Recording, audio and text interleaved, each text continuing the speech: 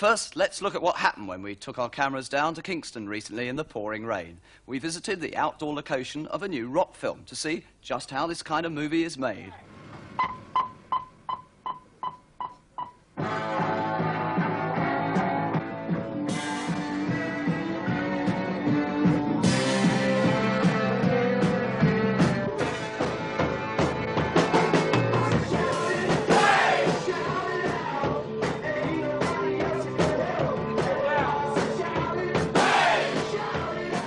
Here we are on the location at uh, Ravens Ait Island off Kingston, and what's going on behind me here is the shooting of Popstick uh, with the groups like Glitter Band, uh, here, the Rubettes, and uh, Sally James, as well as Peter Denyer. Well, let's go and see how they make these films.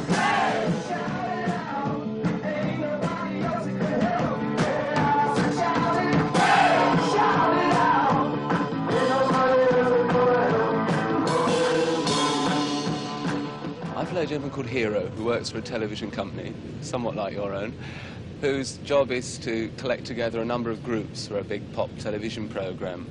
Because the groups are difficult to find, he's invented a group detector van, rather like the television detector vans.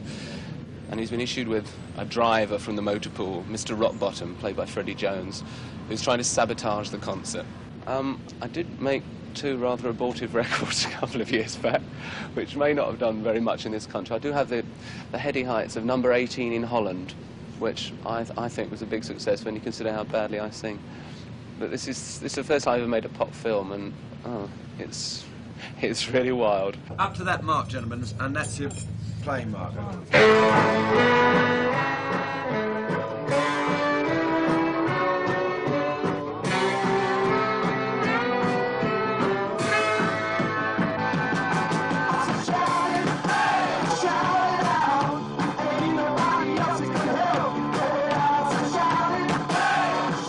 The director set off? I mean, how many works of uh, weeks of work before the film? On this one? Six, six weeks, I suppose.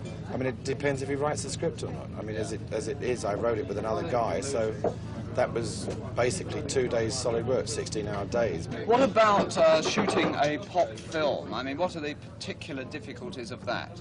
Uh, The, the temptation is to say the pop stars, but it isn't really because they're quite, they're very good. Um, there aren't any real difficulties, I suppose, as such. I mean, it's uh, providing that you don't. It depends how you how you deal with them as actors, really. I suppose that, that what they what they've got to be is you, you can't really give them lines as such. It's it's ad libbing, and you give them a rough idea what you're at, and off you go from there. Because basically they are not actors, so you're dealing with non-actors. Well, they're acts, but they're not actors as such. Yeah, that's very good. I like that. I mean, it would be a very easy film to shoot if you had a good unit with you, you know. But this, this not. No, they're very good. But I think for the pop, the, the pop boys, really, what you're talking about, I don't suppose our- half of them have really done anything like this before, and they don't really understand getting up at 6:30 in the morning and all that sort of thing. Nevertheless, they're very good at it.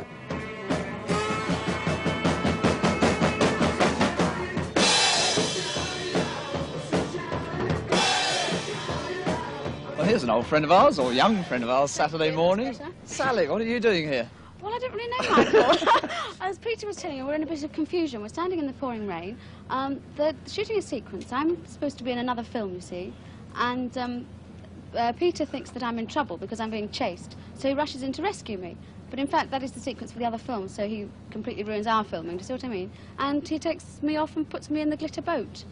I see, I like this sort of glittery uniform you're Well, yes, I wearing. thought I'd outdo Gary for a change, you know. bit of competition.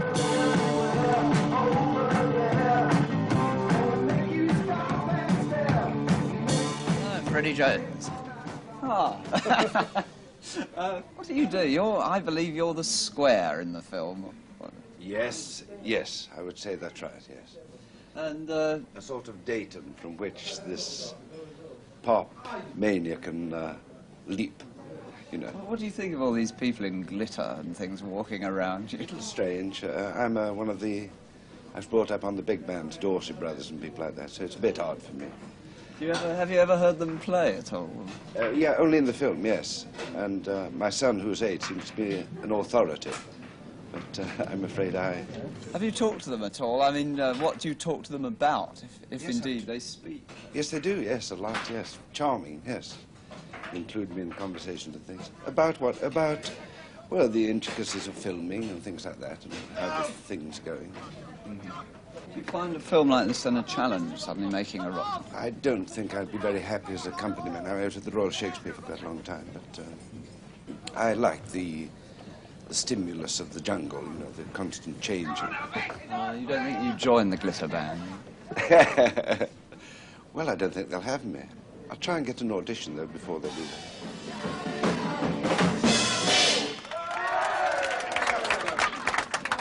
How many numbers are you doing in the film altogether? Four. Well, I think we're playing three and they're using Angel Face. It's just a piece of theme music, Yeah, yeah. somewhere along the line. And uh, any words with Gary? Has he, uh, know about, he hasn't seen any rushes or anything like that, has he? No. Too busy at the moment. Yeah. Could be the stars breaking up and the group staying together. We got we, we got an audition on next next week, haven't we?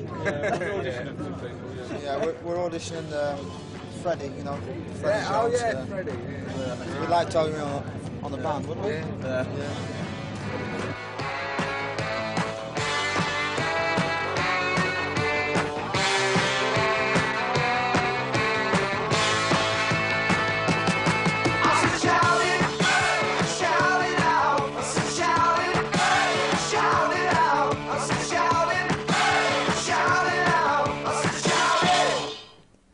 If I was a singer, I think I'd like to have a go at that. Incidentally, you'll have heard the name Popstick used during that film. The uh, producers had, in fact, changed the title of the film since we visited the location.